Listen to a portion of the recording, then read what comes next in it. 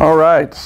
Welcome to Rampart Christian Fellowship. Today is June 7th, 2015.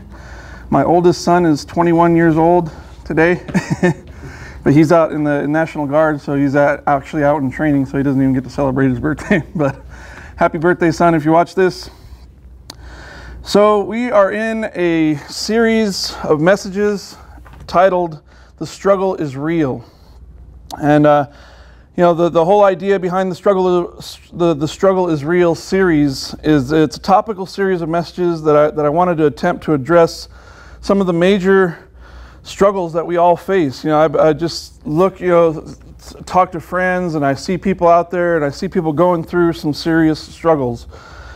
And so the struggle is, is real is, a is an attempt to, to address those things from the Bible and to give, give us some biblical direction on how to overcome these struggles. Today's topic is relationships. I have seen so many people, so many people's lives um, and their, their walk with God, and, and I've seen uh, so much hurt uh, when it comes to the area of relationships. And, and so I wanted to really dig into what God says about relationships and then how we should prioritize our relationships. Um, and, and the, the, the, basic consensus of what the Bible says, just so we can get that out in the, in the, in the beginning, um, as Christians, we should love. In Ephesians chapter 4, verse 32, it says, And be kind to one another, tenderhearted, forgiving one another, even as God has forgiven, forgave you. And, and I believe as a Christian, we should always remember that. a lot often we'll forget how much God has forgiven us, how much God, you know, how much things we've done, and, and God has given us grace. And if we remember that, that uh, that gives us, that should give us a heart of grace towards other people, and that should influence our relationships. So, the struggle of relationships. Um, the struggle is extremely real when it comes to the topic of relationships. The quality of our relationships is in direct correlation to the quality of our life. If we have a good relationship with our with our spouse and with our children and with our family and with the, with the people that we work with, you know, it, it directly influences how, how, how our quality of life is. Relationships are based on communication.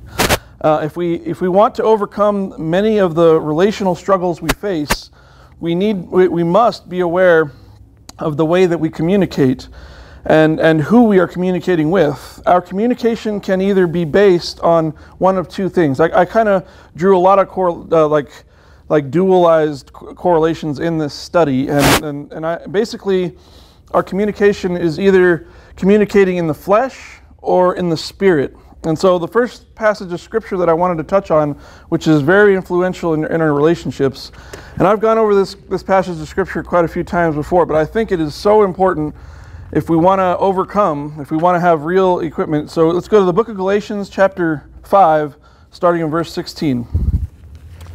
Book of Galatians, chapter 5, starting in verse 16. I think this, this passage of Scripture, when I first read it, when I first started studying the Bible, and I came across this part of the Bible, and I, I was like hit by it. It, it. it, sunk deep into my heart. And, and for I, I didn't read anything else out of the Bible for like six months. I just read this passage of Scripture uh, over and over again. I, I, read it in different translations. I, did, I, I, looked at commentaries on it. I just meditated on it. And I, and, and I, would, I just wanted, when I read this passage of Scripture, I wanted to make uh, what it says part of my life. I wanted to understand it so deeply that it actually live it out. And I would hope that when I, when I share it with you guys today, you, you might be encouraged to, to live, live this piece of the Bible. I mean, the whole Bible as a Christian, you should want to live the whole thing. But I think that goes in steps as you as you, be, you know, as you walk with the Lord. And and for me, this piece of scripture was was just something that that, re- that the Lord really wanted to do something in my heart. So let's start in Galatians chapter five, starting in verse sixteen. It says, "I say then." Walk in the Spirit, and you shall uh, and you shall not fulfill the lust of your flesh. For the flesh lusts against the Spirit, and the Spirit against the flesh, and these are contrary to one another so that you do not do the things that you wish, but if you are led by the Spirit, you are not under the law. And it starts in verse 19. It says, Now the works of the flesh are evident, which are adultery, uh, adultery, fornication, uncleanness, lewdness, idolatry, sorcery, hatred, contentions, jealousies, outbursts of wrath, selfish ambitions, dissensions, heresies, envy, murders, drunkenness, rivalries, or revelries, and the like, and I, of which I tell you beforehand, just as I also told you in time past, that those who practice such things will not inherit the kingdom of God. And then in verse 22 it says, But the fruit of the Spirit is love, joy, peace, long suffering, kindness, goodness, faithfulness, gentleness, and self control. Against such there is no law. And those who are Christ have crucified the flesh and with its passions and desires. If we live in the Spirit, let us also walk in the Spirit, and let us not become conceited, provoking one another and envying one another. Now, uh, you know, I, I hope that you, that you can see in this passage of Scripture how this can relate to our relationships. if, if this is in our, if this, if we take this piece of Scripture and we apply it to our relationships, it, I believe it can help us to overcome so much of what we see. Because if you look back when it says the, the works of the flesh, now think about a relationship, uh, I mean, a, a, marriage, for instance. Uh, adultery is, is a violation of marriage, fornication, violation of marriage, uncleanness, lewdness, all these things that, that, that, it lists here of the works of the flesh. You see this in marriages that are crumbling. You see these things, and, and, and I tell you that, that this are all part of, of living by the flesh. And then in, in verse 22, where it gives us the, the, the, the fruit of the Spirit. Now, if you apply, if you apply those uh, characteristics to your marriage, then you will have victory in your marriage. You will, you will live. Uh, you will live a life that, and you, your marriage will succeed. I mean, this is what I've seen in my life personally. So, um, the first fruit of the Spirit uh, is love. Now, I, I, didn't put it in the notes, but I wanted to I wanted to touch on it. I'm gonna I'm gonna read through it real quick. If you want to turn to 1 Corinthians chapter 13, it talks about what love is. And so this is a biblical explanation of what love is. And if we want to have relationships, if we want to love one another or be kind to one another, we need to know how to what God means when he says love. So in 1 Corinthians chapter 13 it says and though I speak with the tongues of angels of men and of angels but have not love I have become a sounding brass or a clanging cymbal. Though I and though I have the gift of prophecy and all and understand all mysteries and all knowledge, and though I have not faith, or, and I have all faith that I should remove mountains, but I have not love, I am nothing. And though I bestow all my goods to the poor, and, and though I give my body to be burned, but I have not love, it profits me nothing. So it lists a bunch of good things. You know, uh, I mean, you can speak really well. You can, you can understand all the mysteries of the Bible. You can, you can have all this faith and you can, and you can uh, give all, all this money to the poor, but you can actually do all that without love. And, and, and I tell you, it profits you nothing. In, in, in verse 4 of, cha- of chapter 13 in 1 Corinthians, it says, Love suffers long and is, and is kind. Uh, uh, I mean, another tra- translation, it, will start with, Love is patient. You know, that's what lo- suffers long or long suffering means. Love is patient, and, patience is, is, the, is the hardest lesson I, I've still, I'm still learning. in my life. And, and, and but, but if you want to walk in love, then, then you need to grow in patience. Love does not envy. Love is not parade itself. Love is not puffed up, does not behave rudely, does not seek its own, is not provoked, thinks no evil, does not rejoice in iniquity, but rejoices in the truth, bears all things, believes all things, hopes all things, and endures all things. In verse 8 it says, Love never fails. And I tell you, if, if that's what your marriage looks like, that you're, you're, that you're patient, you don't envy, you don't parade yourself, you're not puffed up in your, in your, in your marriage, I'm telling you, those, those are the things that are, that are going to transform you into, into what a godly marriage looks like, a, a, biblical marriage looks like. God wants us to, to have this, this image of what it is to be with Him in, in, in heaven. And He wants us to be at peace and, and and, and, and if we live by, by love, this is, this is how we should live. We should, uh, should not be rude. We should not seek our own. We should not be provoked all the time. And, and that word provoke is, is pretty interesting as well. It kind of means kind of um, instigator. You know, I mean, I, and I've seen uh, even in my own relationship sometimes, we, we, you know, like, you, when you're in a relationship with somebody, you can instigate things sometimes when, you get caught up in, in just weirdness of the of relationships sometime. And I, and I think that you have to kind of grow in the spirit to, to kind of get away from that type of stuff. So, going along with the whole uh, uh, duality thing, you know, we, so we talked about living by the flesh, living by the spirit. We talked about, uh, you know, the fruit of the spirit is love and what love looks like according to God. But uh, there's two different uh, uh, main divisions in relationships that I saw when I was reading through this study in the Bible. And that's basically you have a vertical relationship with uh, between you and God, between the creation and the creator, and then you have a horizontal relationship, which is your spouse, your children, your your your family, and your and your your work relationships. So we're gonna the we're gonna start and we're gonna look at what it is to do. How, how do we build our relationship with God? How do we get the vertical relationship right? What do we what do we do? And so, if we want to build our relationship with God, we need to do basically, I wrote down four things, and these are four things. I, have actually uh, shared these things before on the, the message I did called Priorities. And, and I believe it's, it's so good that I'm going to keep saying it. you know, uh, even the Apostle Paul said, I, I, I keep preaching the same thing to you because I want you to get it.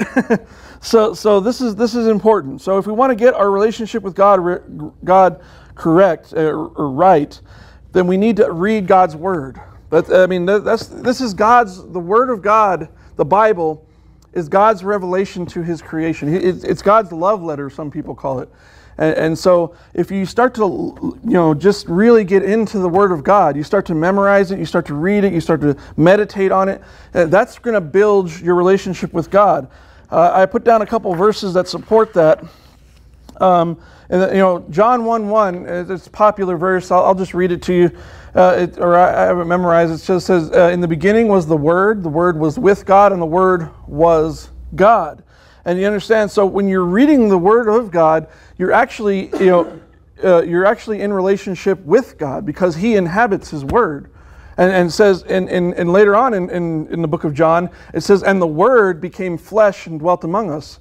So it, was the Word was with God in the beginning, meaning Jesus Christ, and the Word became flesh, which was Jesus Christ who became flesh. And so when we're when we're reading the Bible, we're actually communicating with Jesus. I mean, we're, we're learning you know what's in God's mind, rather. Um, and then another verse that I put down, uh, Psalm 119:11. It's a good memory verse. It's it's uh, David is writing this psalm. Psalm 119 is going to be probably our next series. Uh, um, this is our sixth month as Rampart Christian Fellowship, and I, I've been doing topical messages for the first six months. But the, our next series is going to be the fir- first verse by verse series that I do, and it's going to be the whole book of Psalm 119. Because I believe that Psalm 119 is such a beautiful example of what it looks like to have a heart after God. In Psalm 119, verse 11, um, David writes, I have hidden your word in my heart that I might not sin against you. So that so when we're when we're reading the Bible and we're memorizing it and we're getting into it, we're doing that so we have spiritual uh, support that we wouldn't sin against God. And it's so it's so important that we understand how how how the Bible it gives us a spiritual life. You know, we, I mean, a lot of people think that, that they can go and they, I can, you know, they can be a Christian and they, they don't need to go to church. They don't need to pray. They don't need to read the bible. And as long as they you know i believe it's the way that people have described salvation a lot of times. Some people will take the book uh, the, the verse in romans 10 9 and say if you confess with your mouth and believe in your heart that, that god raised christ from the dead then you're saved. And some people will take that verse and, and they'll preach it in such a way that people will think well then i'm good. All i got to do is confess and believe and and I don't need I don't need to do any of this. But but you understand the word believe that, that's used in that is an action word. And and if you believe in your heart that Christ, that Christ was raised from the dead, it's actually going to result in, in in the things that you do. And so a lot of people will, will get that verse twisted and, and, and use it as an excuse to not do anything and think, I'm saved. I know I'm saved because I confessed one time. The lot, eh, you know, it's easy to say something. It's a, lot, it's a lot of, you know, you've heard the term, you know, actions speak louder than words, though. And so if you, if you confess with your mouth and you believe in your heart, your, your actions will actually show if you actually believe in your heart. And I believe your actions would lead you to actually read the Word of God. Amen? So, and the second one is kind of two things it's, it's pray but it also uh, be still and listen. You know, you know, we need to pray. We need to pray all the time, the Bible says. Pray continuously, pray without ceasing. And I, and I believe when we pray, we communicate with God, but then we also need to stop and be still sometimes. And I think for the society that we live in, being so, you know, ADD, that it's hard for us to sit down and just pray and, and, and then listen to God and, and listen for what the Spirit is leading us to do. And I think, so I, I put down two verses.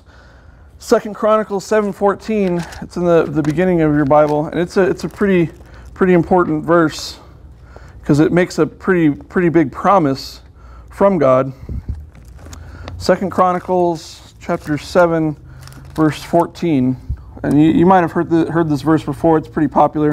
But it says in Second Chronicles chapter 7 verse 14 it says if my people who are called by my name will humble themselves, pray and seek my face and, and turn from their wicked ways, then I will hear from heaven. So so if we if we humble ourselves and we pray and seek God's face and turn from our wicked ways, then God will hear from heaven. And, he, and it says, and, and will forgive their sin and heal their land. You know, if, if you care about what's going on in your community, if you care about what's going on in the world today, this verse tells us exactly what we need to do.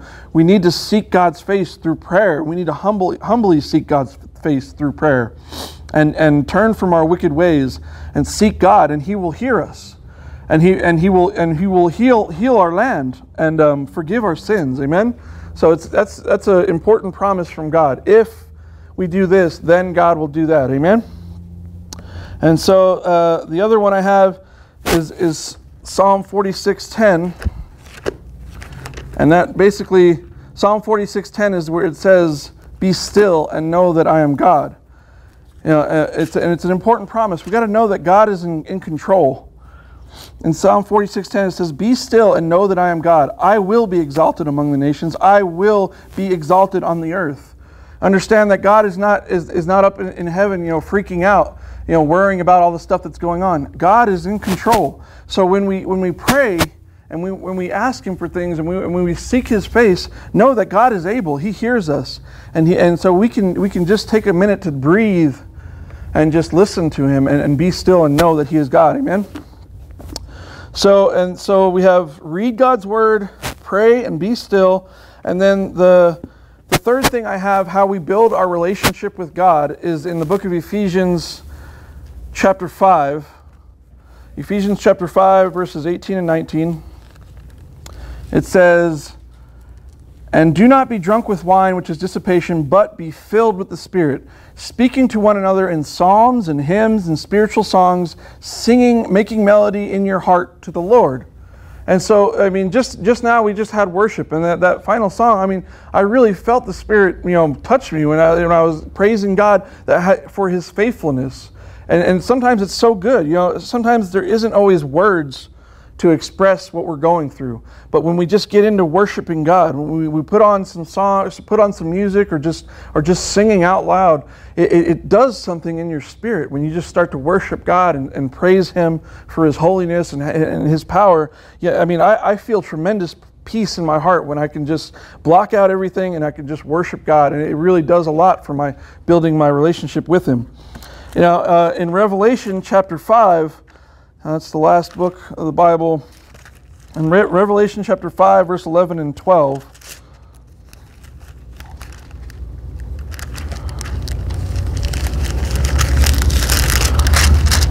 Um, it gives us a picture of, of what it looks like in heaven.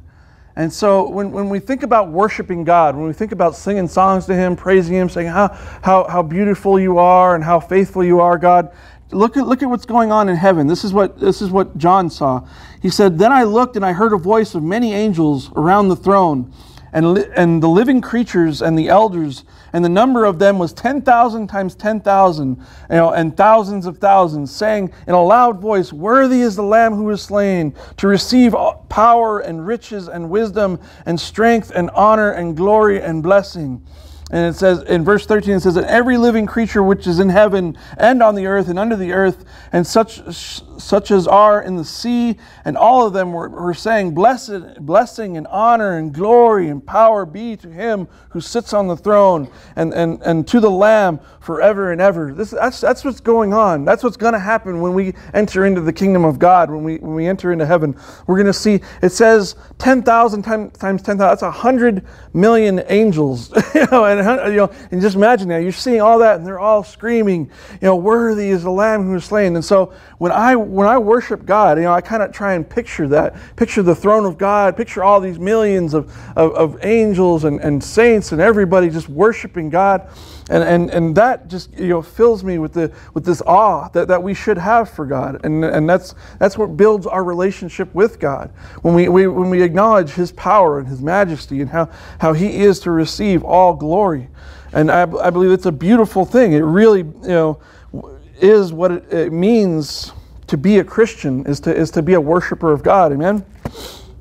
And then the final thing that I have how do we build our relationship with God? You know, by reading His Word, by praying, by being still and listening, by worshiping Him. But then the fourth thing I put is by fellowship. By fellowship with God's people. The church is called the body of Christ. And so, if we want to be in relationship with God, we need to be in relationship to the church. Uh, look what it says, you know, in the book of Acts, it, it shows what the beginning of the church looked like. In the book of Acts, chapter 2, it shows what, what they were doing. In, in Acts chapter 2, starting in verse 46 and 47. So this is this is what the, the, the, the, beginning of the church looked like, and I, I believe that the, the, the command is still the same. I don't think anything has changed. We are still called to do this. If we want to be in relationship to God, we need to be in relationship to God's people be part of the body. So in Acts chapter 2, verse 46, it says, So continuing daily in one accord in the temple and breaking bread from house to house, they ate their food with gladness and simplicity of heart, praising God and having favor with all people. And the Lord added to the church daily those who were being saved. That's what the beginning of the church looked like. And I believe if we want to build our relationship with God, that's how our lives should really look. It shouldn't just be something we do for an hour on Sunday. It's, it's something that we should pursue doing daily. Every day I talk to, to one, some, you know, some of my brothers and sisters in the Lord. You know, I, I try and go to different Bible studies all around. Uh, sometimes I, I, I, share at this, this um, recovery home that's up in Albuquerque, and on Friday nights there's, an, there's another uh, recovery ministry. You know, that, that's, that's my history as I, as I help people get out of drug addiction because that's what God has led me out of.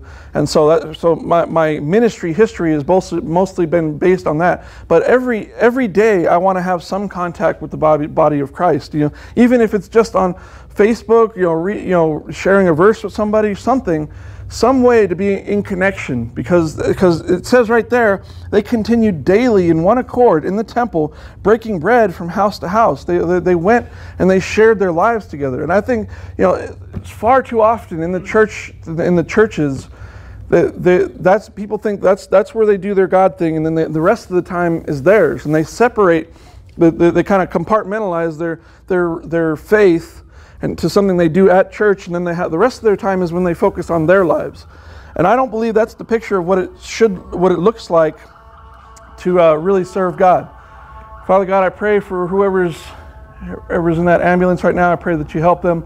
You know, it's crazy. Since we've started this church, you know, almost every Sunday, I will see some kind of ambulance or something go by, and, and it's just caused me to start praying now every time because it's just a reminder to me of of there's a lot of hurting people in this community. and, and, and there's somebody every, every Sunday apparently that, that, that, that has something going on. So, so I just want to pray for, pray for the community and pray for whoever it is that, that, that's, that, that ambulance is going to help. Amen. So, but uh, fellowship, right? Fellowship with the body. We, we need to be in fellowship with one another if we're going to have a relationship with God. So many people say, Oh, I don't need to go to church. I don't need to read the Bible. I don't need to do any of that. And I, I know God. I pray all the time. I'm, I'm, and you know what? I'm not going to argue with somebody. If, if they're, you're free to follow God however you want to follow God. But for, for, for my personal experience, what I've seen, people who, su- who succeed and grow in faith, they're in the body. They, they are there every day. They're, they're doing something whenever the doors of the church are open, when you know they're, they're at home fellowships. And those are the people that I see God blessing and, and pouring his grace upon because they're humble enough to say they can't do it on their own. And, and they're, they're, they have enough discernment to know that the people in the world aren't going to help them grow in their relationship to God. Amen? And so uh, the other one, it's a, it's a very popular verse, and it, it basically answers the question should we go to church or, or, should we be in fellowship? In the book of hebrews chapter 10 hebrews chapter 10 verse, uh, verse 25 and i like how, how, how this verse talks about talks about uh, the, the last as the day approaches right? Let's see. Hebrews chapter 10 verse 25 it says not forsaking the assembling of yourselves together. And that's you know that's a another way to not avoid being at church or being, being in fellowship with other Christians. Um, as is the manner of some. Some people, you know, even the, when they were writing the book of Hebrews, there were still people who didn't want to be in fellowship. But, and it says, but exhorting one another. Exhort mean, it means to encourage. Exhort means to, to, to, to uh, kind of just try and come alongside and, and so much more as you see the day approaching. Now, it, it's, in most Bibles, that's a capital D on the day. And that means that that's the day that you stand before God. And some people will say, oh, that's, that's, that's the end of the world. You know, I mean, I, I see, I'll hear about all these people talking about the end times and how the world could end, a volcano, or you know, all these different prophecies, you know, the doomsday preppers and stuff like that. But the truth is, is the day you die, that's the end of the world for you. that's the day you stand before God. And so the day is approaching. If you're alive, you're coming closer to that day where you stand before God. And so, what should we do as we see that day approaching? The day we stand before God, we should exhort one another. We should, we should assemble together. We should be with the body of Christ. Because, you know, my brothers and sisters in the Spirit, I'm going to be seeing you guys a thousand years from now in heaven. You know, even, even my blood family, the, my blood family doesn't, that doesn't believe in Christ, they're not going to be there. You guys are going to be there.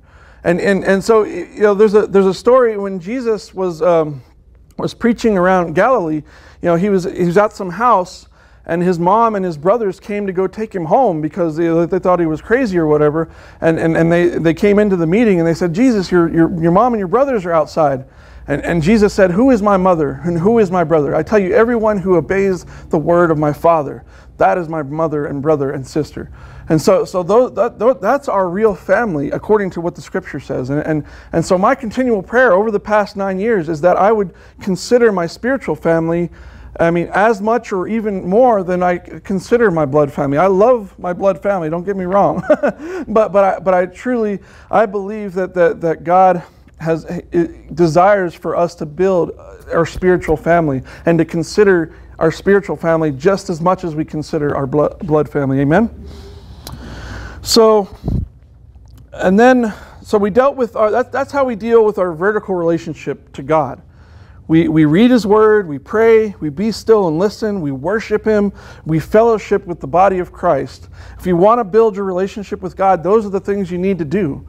I mean, uh, uh, you can argue with that. You can argue with the scripture. It's completely up to you. But I, but I have seen people who do that, they succeed. They, they, they, they, they have the blessings of God on their life, and He guides their steps and He leads them into paths of righteousness. And that's, that's what I want for anybody who hears this message to, to understand that, that, that, that God is.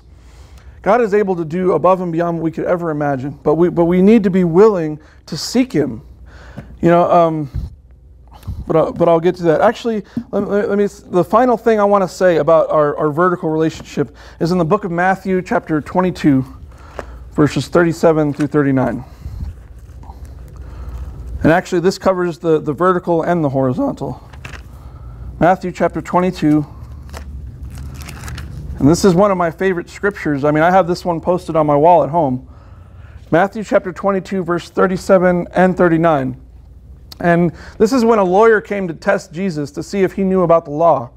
And this is what Jesus said in verse 37 He says, You shall love the Lord your God with all your heart, with all your soul, and with all your mind. This is the first and great commandment. And in verse 39 it says, The second is like it, that you shall love your neighbor as yourself. Right there, you can see the vertical and the horizontal. But, but the first and great commandment is that we love God with all of our heart, soul, mind, and strength. So if we want to be obedient to what God wants from us, well, the first and greatest commandment is to love Him. And how are we going to love Him? By, by what, what we just talked about. We love God by reading His Word. We love God by praying to, praying to Him. We love God by worshiping Him. And we love God by being in fellowship with the body. Amen? And so now, how do we love our neighbor as we love ourselves? Well, that's, that's talking about the horizontal relationship, our relationship to people. And so basically, I've seen it done where, where they, they lay out a basic hierarchy for our interpersonal relationships. And, and this is, I mean, I, I believe it's supported by, the, by what, the, what the Bible says as well. But our first and most, uh, our closest relationship is, is our spouse. And, and, you know, I've gone to, to marriage uh, seminars and retreats and stuff like that to where they talk about on earth the, the, our greatest picture of, of what it's like to be with God and, and the, uh, I mean, God's relationship to the church is, his, is our relationship to our spouse. So uh, let's see what it says in, in Ephesians chapter 5. Ephesians chapter 5, verse 33. This is talking about, you know, husbands relating to their spouses, you know, to their wives. In Ephesians chapter 5, verse 33, it says, Nevertheless, let each one of you in particular so love his own wife as himself, and let the wife see that she respects our husband. Me and my wife went, uh, you know, started a Bible or went to a Bible study uh, years ago, and and the and the guy leading the Bible study was going through this book. I think we have it on the shelf back there called Love and Respect. And it's according to that verse right there. It says, Men, we are called to love our wives. In, in Ephesians 5.23, it says, For the husband, uh, or, or says, um, let's see, for the husband is the head of, uh, wives, submit to your own husbands. It says, Husbands, in verse 25, it says, Husbands, love your wives just as Christ loved the church and gave himself up for her. And then in verse 33, it says, Let each, each husband in particular love his own wife so the call to the husband is to be loving. And then it says to the wife, let each wife um, respect her husband. And, and so, so it kind of gives us the way that God has wired men and the way that God has wired women.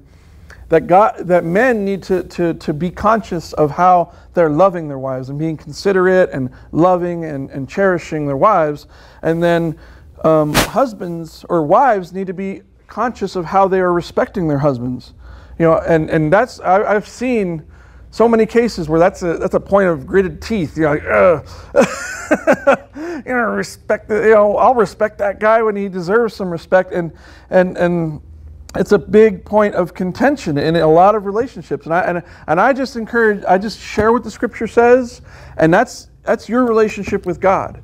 If, if, if you want to obey what the scripture says, and, and sometimes I don't always agree with what the scripture says, but I am called by, by God to submit to His word. Even if I don't agree with it, I'm called to submit to it. And, and I, I believe those people that I've seen do that, even though they don't necessarily want to do it, but they'll, they'll go ahead and out of respect for God, they will respect their husbands. And, you know, the women that I've seen do that, I've seen the relationship grow. And, and, and it's, and, and, and it's, it's not easy. it's not easy to do something that's contrary to your, to your physical nature. But, but like I talked about before, there's the flesh and the Spirit. And if you want to walk in the Spirit, you got to walk in love. love is patient, kind, and, and it does all these things. The only way that we're going to do, we're going to succeed in all these things, is if we walk in the Spirit. The only way I believe a woman can actually respect their husband the way, the, the way God is, is, is encouraging them to do so is by pouring into the Spirit and letting God transform their heart.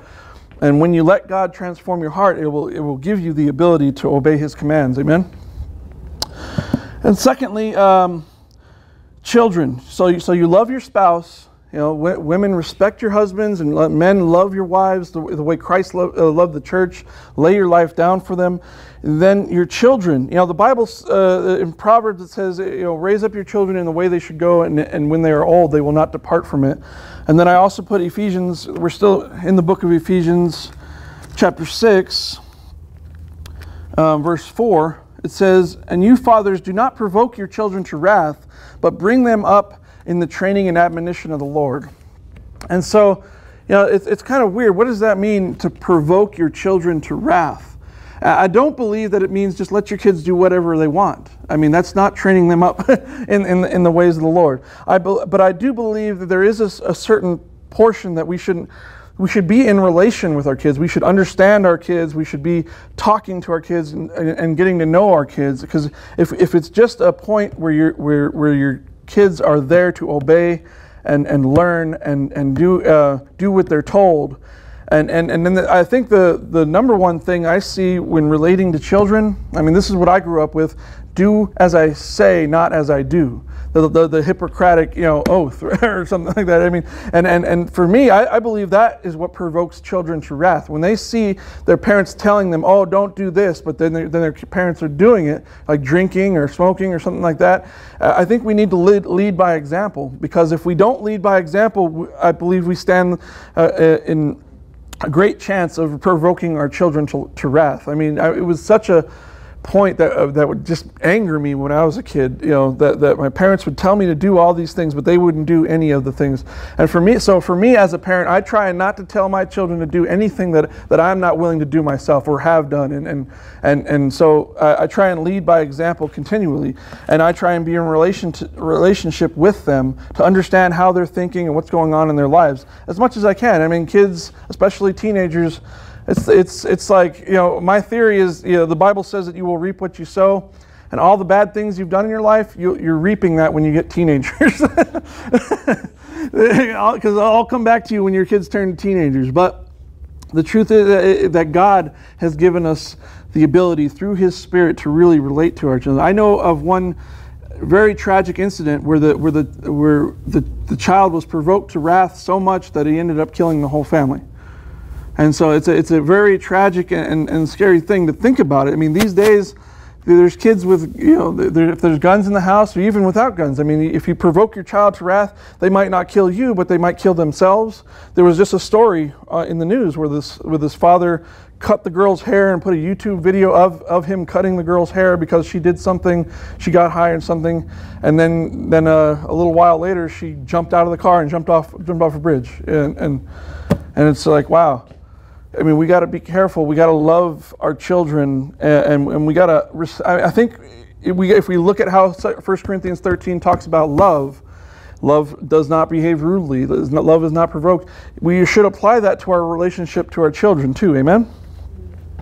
So, and the third thing the third ring, I mean, because I've seen it done where they, they have your, your circle, your, your spouse, your children, and then and then your family. Now I, I put both both your church family and your, your blood family are in this circle of family.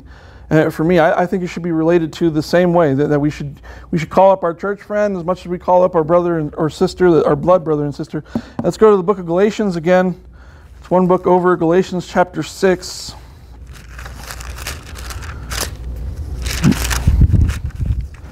Galatians chapter 6, verse 10, it says, Therefore, as we have honor, opportunity, let us do good to all, especially to those of the household of faith. And, and there, and that, I think that's another encouraging verse that we should consider those, those that are believers in Christ.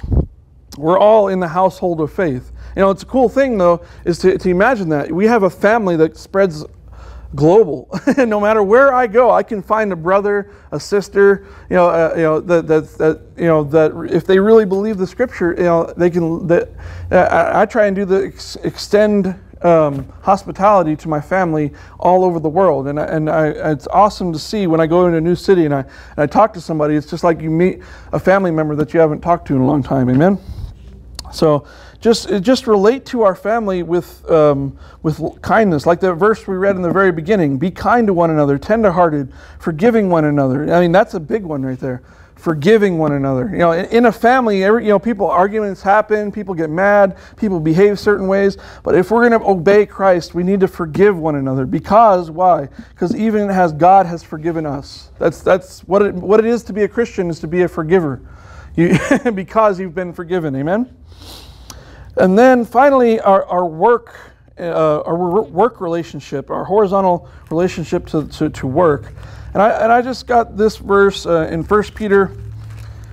And so, some, you know, would say this is a verse talking about, how, how the Bible supports slavery. I, I don't believe so. I believe the words that they use are completely applicable to just a, a, a boss and an employee. So in 1 Peter chapter 2, verse 16 through 18, let's see what it says.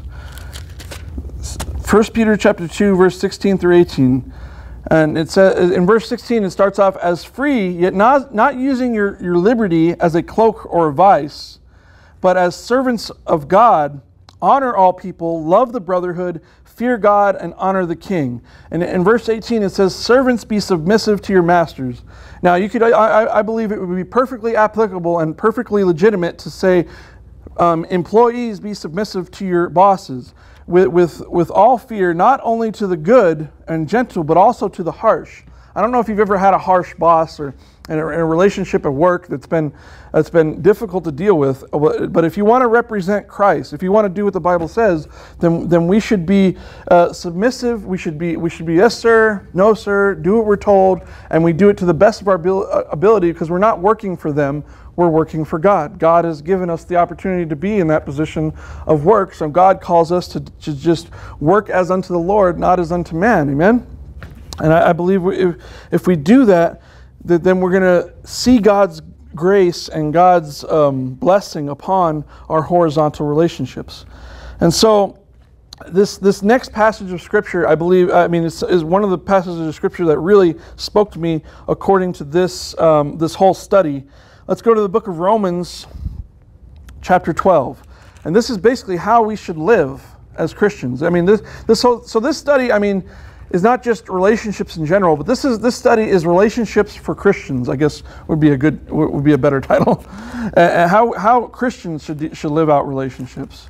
Because if, if you're not a Christian, if you don't know Christ as your Savior, if you haven't committed your life to God, then all this stuff might not be making any sense to you at all. Uh, and it might be completely contrary to, to the way you go. But I encourage you, if you don't know Christ, if you, if you, if you haven't committed your life to God, and you want to see a victory over the struggle of relationships, I would say, you know, spend some time. You know, the, the, Jesus said, when you pray, go into your closet where nobody else is and just spend time with you and God. And I would encourage you uh, to, to go and, and, and get away from everybody else, close your door to your room, and really pray to God. And say, Lord, I, I, don't know if I don't know if you're real, but you know, I want to be saved. If you're real, save me. You know, and and God will, will, will pour his spirit out upon you. I've seen it happen, it's happened in my life. So in the book of Romans, chapter 12, for, for, for all the, the Christians out there, this is very, very very important and it's, and it's really practical. So let's see what it says. In Romans chapter 12, verse 9, it says, Let love be without hypocrisy, period. And then it goes on to the next thing. So, so let love be without hypocrisy. The first thing that, that the world wants to point at the church and say, you know, I'm sure you've all heard it, bunch of hypocrites, right? I mean, so so if we're going to live and honor God with our Christianity, with walking with God, we need to love without hypocrisy. Hypocrisy is telling someone not to lie, but lying. Hypocrisy is is is, is saying something, you know, judging somebody else for doing something that you're you are in fact doing yourself. And so, if we're going to love without hypocrisy, we need to not judge others before, you know, Jesus said, take the plank out of your own eye before you try and take the speck out of your brother's eye. And, and so, if we, if we can, if we want to love without hypocrisy, we need to love but with, without judging other people. But, but, and it says, the next part says, abhor what is evil. I mean, hate what's evil. I mean, that's, that's part of what it is to love God, is to hate. If you love babies, you should probably hate abortion, right? and so, and then it says, cling to what is good. You know, loving people is good. Being generous is good. Know, uh, being being forgiving is a good thing. So, so that's what we should cling to.